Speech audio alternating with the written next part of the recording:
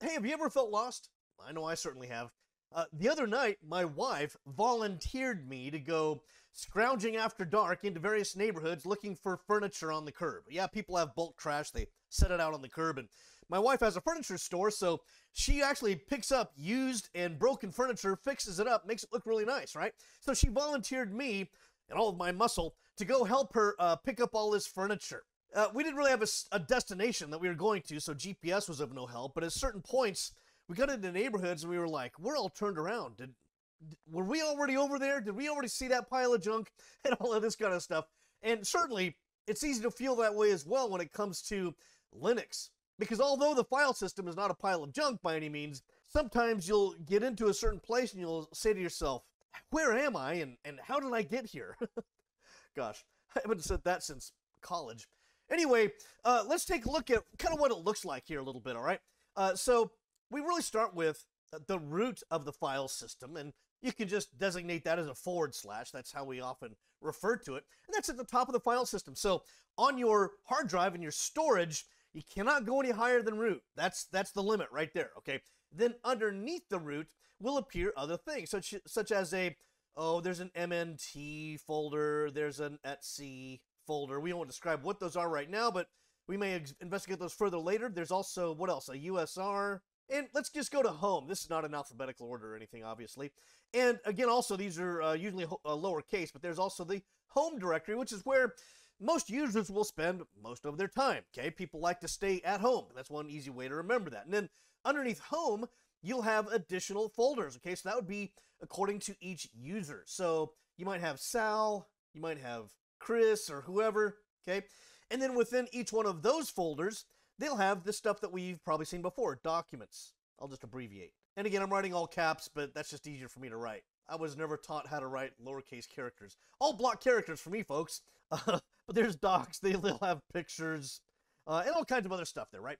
So anyway, uh, when you look at the command prompt, there are certain clues that you can pick up on to identify where you are. But nevertheless, sometimes it gets to be a little bit confusing. And so let's kind of resolve what we have there. And I'll show you another tool that you can use here in a moment that will help you to identify where you are as well. Okay, one of the first tools that we'll use, of course, would be ls. We've looked at that in the past.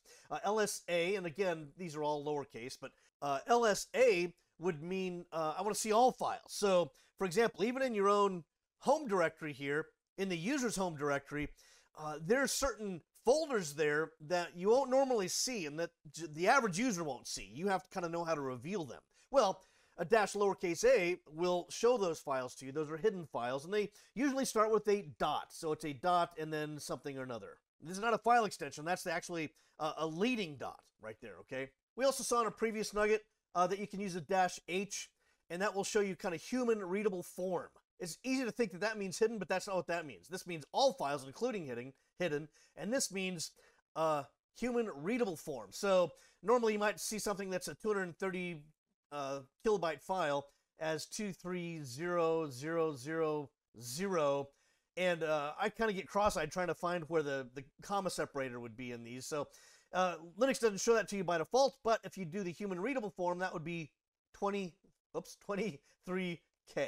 Okay, and it show, might, might show it to you that way instead, and with megabytes and so forth. So LSA was one of the ones that we can use. The other one that we could use would be um, PWD. So this is very handy as well because uh, you might be in a folder somehow. You know, you were doing lots of administration, skipping from one folder to the next, and this is the one that answers the question of where am I and how did I get here? Okay, so P- PWD does not stand for password like it kind of looks like it does. It's uh, present working directory, I think is what that is.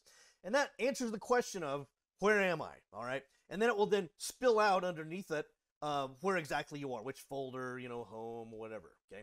Now, the one tool that I really like a lot as well, in order to get a good 30,000 foot view of your current directory, is to use the tree command. Okay.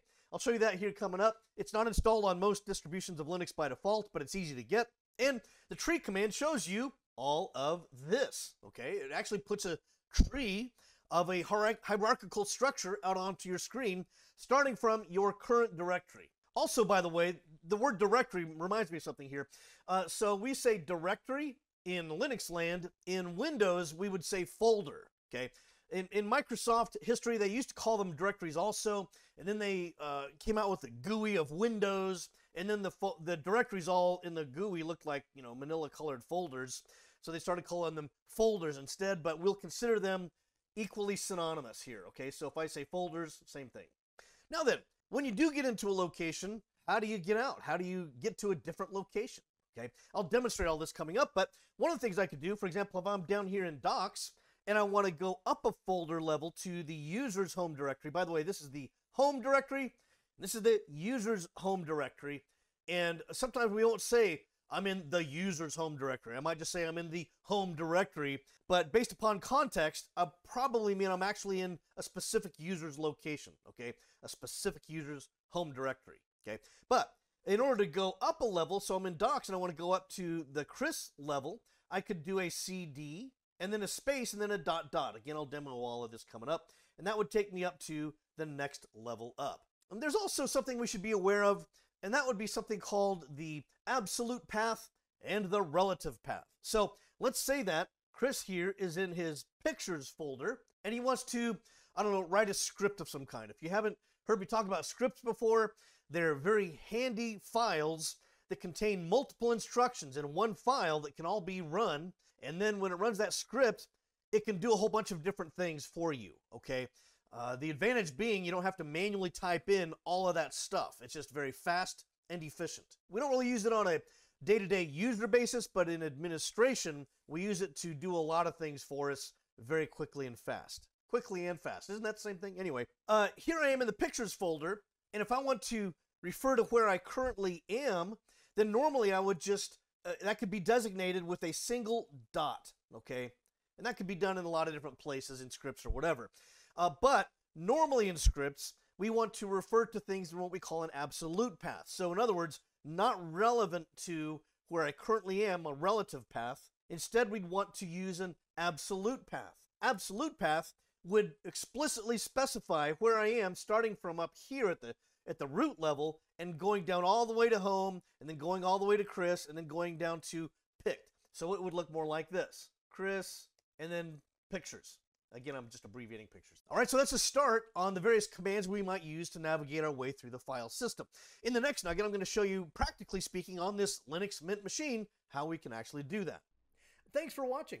Subscribe here to get the latest from CBT Nuggets. Also, if you're new to IT or are interested in an IT career, visit cbtnuggets.com and sign up for a free trial.